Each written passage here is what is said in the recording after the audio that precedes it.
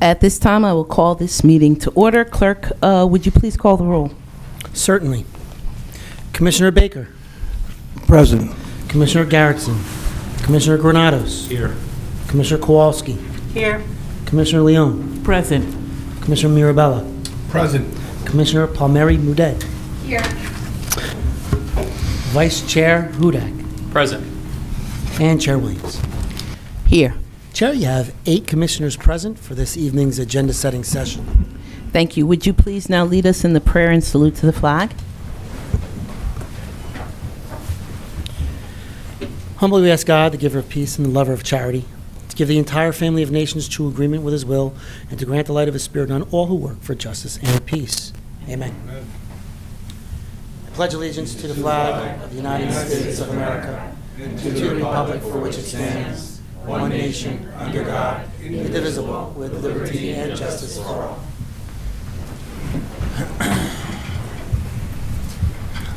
Clerk, would you please read the statement of compliance with the Open Public Meetings Act?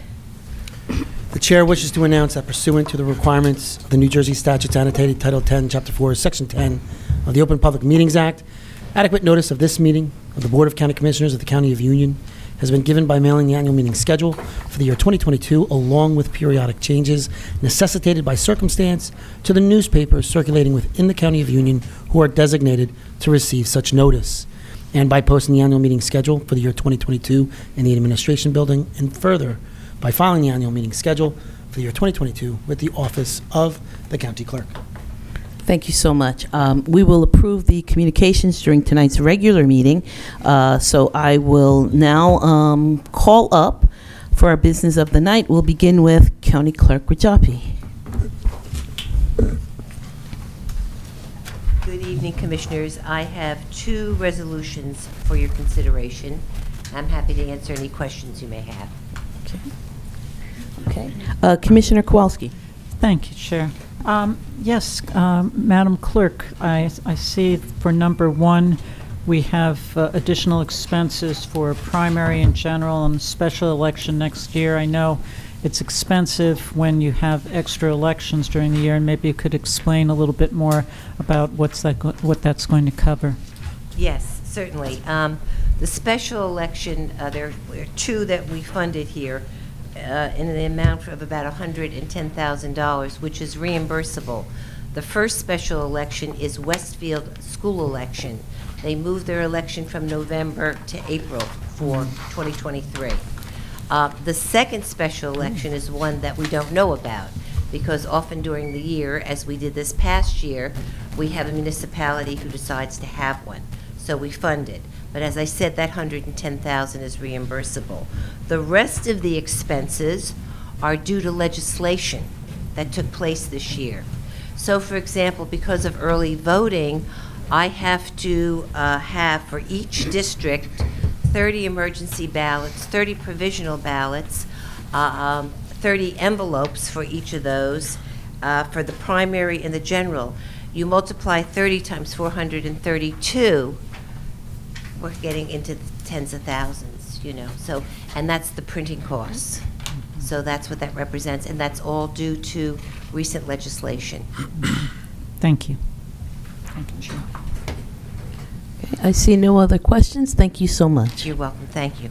Okay. Now I'll call up uh, our county prosecutor, or is, oh, Jim Tanzi, uh, stepping in for Prosecutor Bill Daniel. Good evening, Commissioners, uh, Chair. Um, Before we start, I just wanted to say farewell to Commissioner Hudak, who uh, I think this is your last go-around here, and good luck in your new position. Um, We have a, uh, we have five items on the agenda tonight. Um, I'll be happy to answer any questions anybody might have. Okay. Okay. Uh, Commissioner Leon. Good evening. Can you Good. elaborate on the first one? First one. Yes, uh, Rosa Jamilio is uh, acting as our, um, our SANE nurse coordinator. Um, And her contract is running out. Uh, We didn't get the, the, uh, we didn't get the uh, was, the disclosure documents were received too late. So two months, or two weeks of her salary, instead of coming out of the grant, everything usually comes out of the grant, two weeks will come out of the, uh, will come out of our operating budget.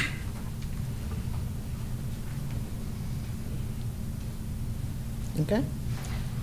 Uh, Commissioner Baker. Oh, yes. Thank you, Madam, Madam Chair.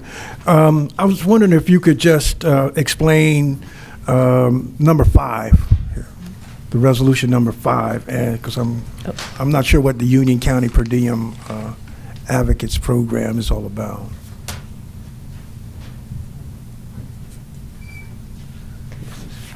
Oh, this is the, this is the insurance fraud uh, unit in our office. It's funded uh, with a grant from the state, and it funds um, uh, a part of the salary of one attorney, a sergeant, and an investigator. And that's an annual, that's an, an- so it's all grant funded. Um, That's an annual uh, grant that we get. Okay. And you say it has to do with insurance fraud? It's all insurance fraud. It's the insurance fraud unit. Chair. The, the people that work it are, Point, point of order, Chair? yep. If I may, um, on our printed agenda, number five is the contract for the independent contractor that you, were- that you mentioned for the number one. Oh, geez. Not, All right, not, I'm not a sorry. problem. I know there was a little confusion uh, during, uh, earlier in the week, yeah, but the, uh, the f- number four on our printed agenda is the insurance fraud that you were just now describing. Okay, no, no, uh, are you asking about the inf- insurance fraud grant? No, actually, what, what number would that be, Mr. Clerk? Four? So the Number four. insurance, the No, insurance no, fraud is number four. Number Five. five pertains to the independent contractor, which uh, was discussed a moment ago. It was? Okay. Well, then, could you reiterate number five then? Explain. Is, is the, that is Rosa Jamelia, who's our, uh, uh, our SANE nurse. So she is, na- she's an independent contractor now. Yes. She previously was, was an employee. She's now an independent contractor. So we have to pay her through a, a, a resolution. Okay. For the Union County Per Diem Advocates Program. Right. And and what is that? Because I, I don't know personally what that Are- Are you talking about the SANE nurse program? No, Rosa, Yes, Sure, that's no, a, she's an we have to independent send out uh, a nurse anytime there is a, a, any kind of a sexual assault, uh, uh, for a number of different uh, Okay. sensitive things. We send out a nurse I see. to, for the victim at the hospital. Okay, I, I understand now. Thank you very much. Thank you, Madam Chair. Certainly. And uh, Jim, if you would just, uh, the, uh, I think the one that um, Commissioner Leon was asking about was Operation Helping Hand? Oh, Operation Helping Hand. Yes. Now, that's, that's uh, our, I'm sorry, I, my, my, uh, I should have accepted the agenda when I walked in. My agenda seems to be off.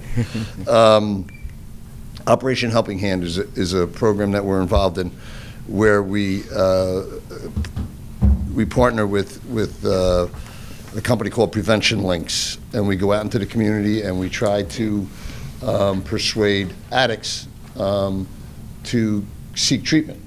Um, We set up a a tent. At times, we go out and make arrests and offer them treatment in lieu of, uh, in lieu of prosecution. Um, It's, it- it's a wonderful program. Uh, uh, It's, a- it's a really, Helping Hands is a wonderful program. We've been involved in it probably now about four or five years.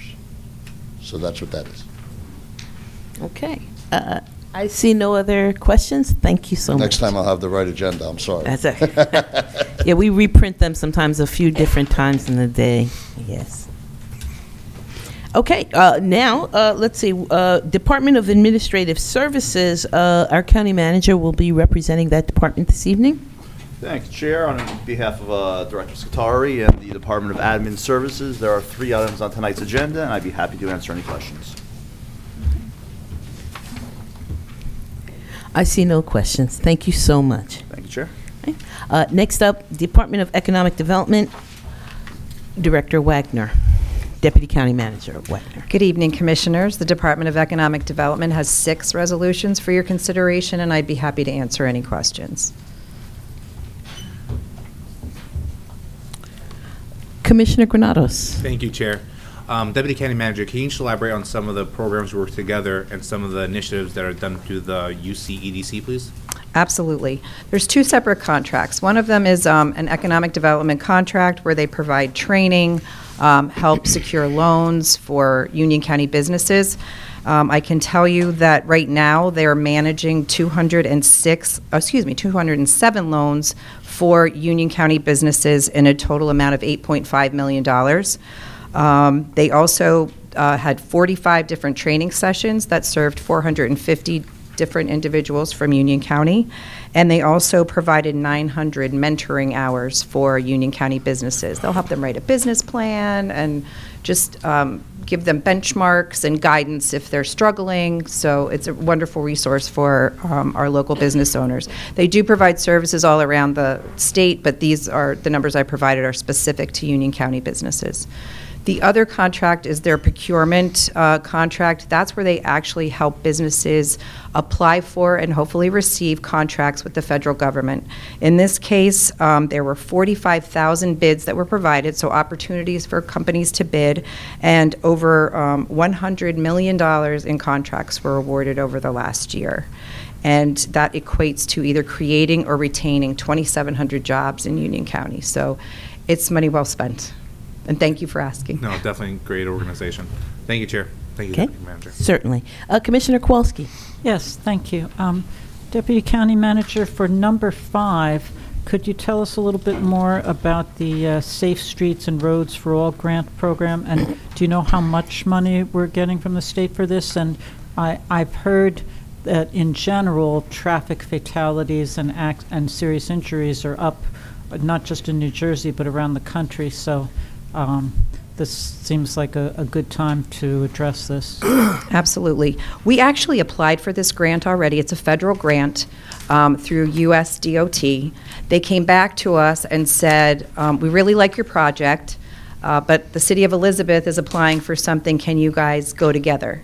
So what this does is it amends the original agreement and adds their piece of the project on. I will tell you that we were left feeling like we're definitely going to get this money um, if we would combine them. If it didn't, it had to go to some review committee. So what this is going to do is take a holistic look at all of the roads countywide. And I will tell you, Rick has been very helpful in getting this thing pulled together, and Elizabeth as well, um, to look at the safety of all the roads, the congestion issues, um, particularly along the Route 28 corridor, will be very closely looked at because that, that all ties together.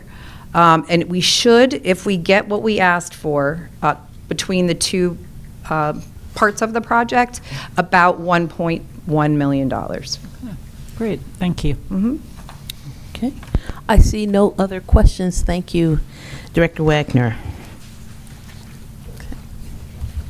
Next up, Department of Engineering, Public Works, and Facilities Management. And uh, in place of our director, we will have our engineer, Rick Matias, uh, representing that department. Good evening, Chair. Good evening. Uh, Department of Engineering, Public Works, and Facilities Management has six resolutions on the agenda this evening. I'd be happy to try and answer any questions. I see no questions. Thank you so, oh, I'm so, oh. Vice Chair Hudak. Uh, Good evening, Rick. How are you? Good evening. Uh, Could you just go over the, the, uh, the scope of the change order? Yes. uh, For the um, amendment on number six? Absolutely. Uh, This is a bridge improvement project, East Hazelwood Avenue Bridge in Rahway. Uh, The project specifically is a scour protection project. Um, And for those of you who are not familiar with scour, it's essentially trying to prevent soil erosion um, from uh, eroding away the soil around the foundation of the bridge. So uh, during the work, uh, we encountered uh, unsuitable soils uh, in the area directly beneath the bridge where we couldn't directly drive piles into the soil to keep the water out. So that required a lot of um, renegotiating some priorities by the contractor, uh, required some additional excavation, um, disposal of that soil, and transportation of that soil. And what's the, where are we in terms of the time frame of that? Completed. Project So we're is compl- complete so and done. This is the final change order. This will be the final Yes. change order? Okay, good to hear. Thank you, Chair. Thank you so much, Rick. Thank you. Next up, we have our Department of Human Services, Director Anderson.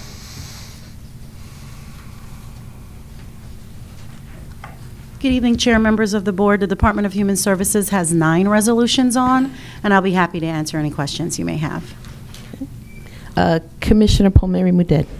Thank you, Chair. Hi, Director.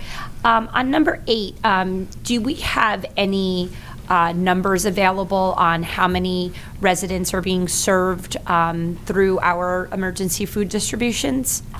Um, Yes, we absolutely do. Um, With, within the year for 2022, we were able to do um, roughly 18 food drives, and um, this impacted about 58,000 um, individuals in Union County.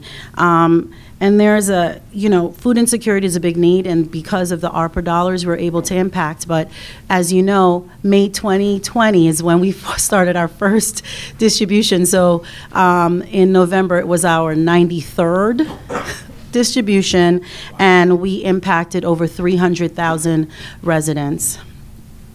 And we know those numbers because when they do come, they do have to identify themselves, correct? They do. Um, When we, whether it's a drive-through or walk-up, we um, actually ask for a driver's license that we can take um, some of the demographic information, we put it in our database, and we have that stored. So we do track it to make sure that the data is available for anyone who needs it, and plus, you know, it's a federal funding, ARPA's, fu- CARES and ARPA are federal, so we have to be able to track um, who we're providing the foods for. Thank you. You're welcome. Uh, Could you explain a little bit in more detail um, the renewal subcontracts to the agencies for, under number three, uh, the the spending plan? The spending plan for the community service block grant? Yes. Um, okay, so the community service block grant is a program that focuses on employment services, emergency services like case manager, shelter, food, rental assistance, family support, and we also provide linkage and information and referral to families. It is the same amount of dollars, six hundred and it's for about the individuals that are about two hundred percent of the poverty guideline. So that's low, low. That's a family of four making about fifty-two thousand dollars annually. So the dollars go out into our nonprofit communities. People have to apply, um, and then we're able to work with our nonprofit partners to distribute where the need is most. Thank you so much. You're. Okay, Commissioner Mirabella. Thank you, Madam Chair. Uh, Director, um, wanted to ask you a a few thoughts about the Code Blue program that your department administers, that this board has always supported for people that need shelter in the frigid nights. And I don't know how many we've had so far this year, although I see we all get notices when they- it's enacted, at least a couple um, so far. So, um, uh, Commissioner, this year so far, we've had about six calls, but it's anytime the temperature goes below 32 degrees, um, we provide shelter. Either, it's either a warming center or a shelter um, that is hotel motel and/or the Gateway Wise.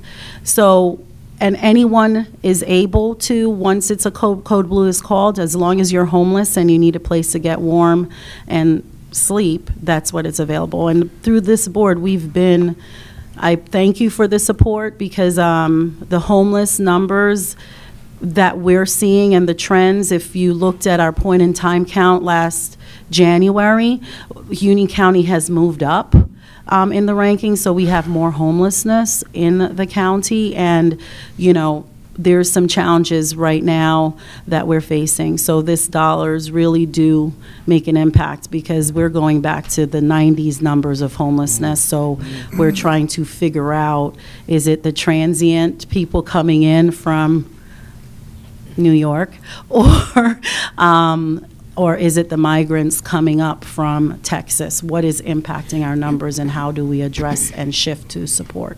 So I see the funding that's going to be in place for 2023, $350,000.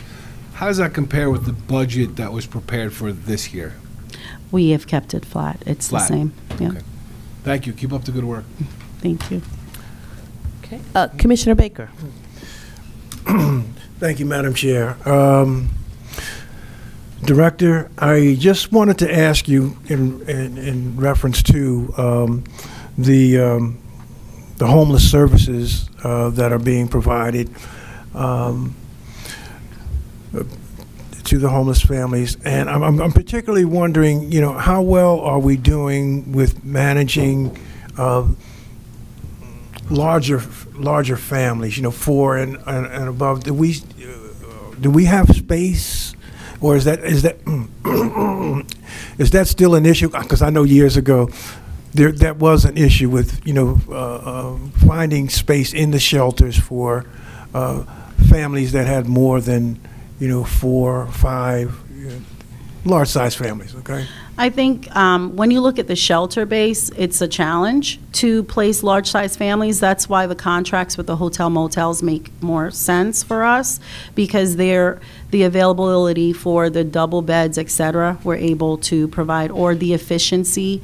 Um, so there's a kitchenette or something in there that we're able to do. Um, the because there's limited shelter available for family size. We have to do the best that we possibly can. Yeah. And a lot of times, there's the extended stays or others that are out of county that we're able to contract with to provide those resources for the families. Yes, I, I, I know from my experience that that money for large families in the emergency shelters or hotel motel money goes pretty quickly when you do have a, a large family uh, or families to, to that extent. But you are to be commended on, on, on the tremendous effort that uh, has been made. Uh, and I'm a little disappointed that the homeless figures have gone up in the survey, but uh, the, there's some things we can't control, but we'll, we'll deal with it. But thank you very much. Thank you. It's a true team effort, so thank you. Okay, I see no other questions. Thank you, Director Anderson. Thank you. Uh, Next up, uh, we'll have uh, Andy Moran, Director of Public Safety.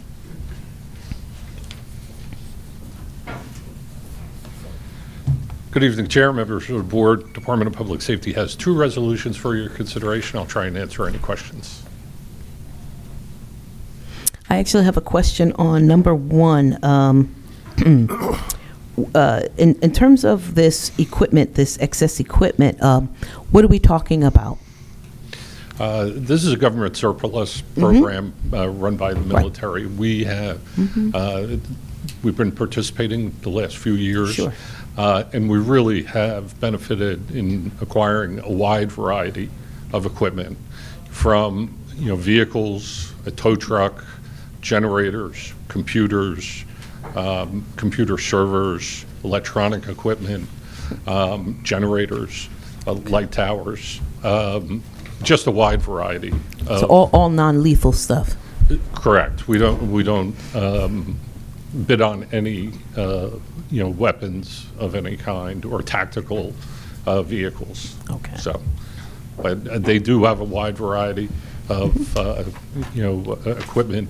Uh, The large tents that we had at the COVID testing site, okay. the heaters and the generators that supplied heat to our uh, staff while they were testing people outdoors was all supplied through this program. Great. I see no other questions, so thank you so much. Oh, uh, I- you know, I'm looking, I'm looking at Commissioner Baker, and I'm, I think I'm in denial about. uh, Vice Chair Hudak, go ahead. Th- Thank you, Chair. Um, Good good evening, Director. Just evening. in in regard to number two, um, you know, it's fairly self-explanatory um, in terms of, you know, with the cost and the training. Uh, The question I had was more regarding to the date. It's 2019 funding. So is it typical that the UASI grants, um, you know, relate back two or three years on funding? Or is this just a byproduct of the pandemic where, you know, funding's in place and, you know, programs were delayed and did we have to get any, and I guess my second part of that is, did we have to get any permissions for any of these grants to extend funding? Uh, Usually, the UASI grants are a three-year grant period. Okay. Um, And, you know, under certain circumstances, we could apply for extra funding. Um, Some projects, um, at the end of the day, cost less to administer than we had budgeted. So this is actually a new program for law enforcement officers to be trained in tactical entry, which we haven't done before for a UASI project. So uh, this funding, you know, became available because uh, other projects came in under budget. Gotcha. Has there been any, are any challenges in terms of drawing down funds, you know, during the pandemic years in general, or everything just seems to be back on schedule in terms of your procurement for those grants? No, we, we still have, uh, you know, we suspended all, you know, mass training exercises during the pandemic, um, active shooter training, bleeding control classes that are uh, traditionally held in a classroom setting, which, you know, for two years we weren't able to do. So, um, you know, we were working very diligently and actively uh, to supply that training before the grant funding runs out. Yeah, unfortunately, it's just a very relevant training, um, you know, most of what the UASI program provides, so. Good to, good to hear that we're getting caught up and getting those trainings back on track. Thank you, Chair. Certainly. Okay, I see no other questions. Thank you, Director. Thank you, Chair. Uh, Next up, Office of County Counsel, Counsel Bergen. Thank you, Chair. Uh, To you and the board members, County Counsel has one resolution tonight, and I'll be happy to answer any questions. Okay. Okay, I see no questions. Thank you. Thank you. And now we come to Office of County Manager, uh, County Manager Ed Oatman. Thank you, Chair. The the county manager's office has two items on tonight's agenda, and I'd be happy to answer any questions.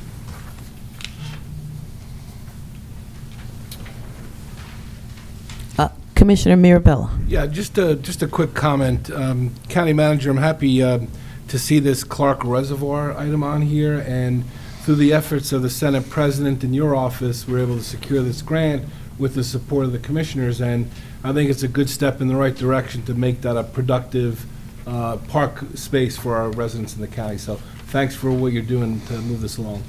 Thank you, Commissioner, and we are working with um, the state and also the environmentalists to try to, to make sure everybody's on the same page about how we're going to clean it up there. So Great. it's been a good Yep. collaboration so far. Yep, good luck with that. Thank you. Okay. Uh, Oh, all right. Um, All commissioner-sponsored laudatory and condolence condolence resolutions are from the entire board, and uh, I just would ask, are there any comments from the board on any of these commissioner-sponsored resolutions? Well, Yes, Chair? Commissioner Baker? Um, the one I sponsored for uh, the Grover Cleveland and, and endorsed by the entire board regarding the safety patrol program. This is just a. Uh, you- I have to take you back way back when, but in the first grade, I was a safety patrolman, and I worked my way up to uh, up to the fifth grade where I uh, received the rank of lieutenant, and. Um, and I, when I saw this in one of the local papers, I could not help but think about those days and that the the, the importance of public safety. You know, um, at this point in time, and to think that this the program is still in ex- mm, still in existence, and that uh, it is it's moving along quite well. And so I want to congratulate uh, and commend uh, Grover Cleveland and any other the uh, elementary schools that are participating in this program uh, for public safety. Uh, you have an avid supporter here. Thank you. Okay. Nice. And I, I just want to say, um, if you look at number eight and number nine, um, the, our, our city of Plainfield, where I'm from, my hometown, uh, suffered two tremendous losses of uh, two employees uh, within a week of each other. Uh, one of whom was a personal friend of mine, but I just do want to thank my colleagues for their thoughtfulness and um, for passing, uh, well, for allowing us to put these resolutions on. Um, the city is in mourning, and we just thank you all for your support. Uh, so, with that, um, may I have a motion to adjourn this meeting? So moved, Madam Chair. Uh, moved by Commissioner Baker, seconded by Commissioner Palmieri Mouded. Uh, all in favor? Aye. This meeting's now adjourned, and I will ask the clerk how much time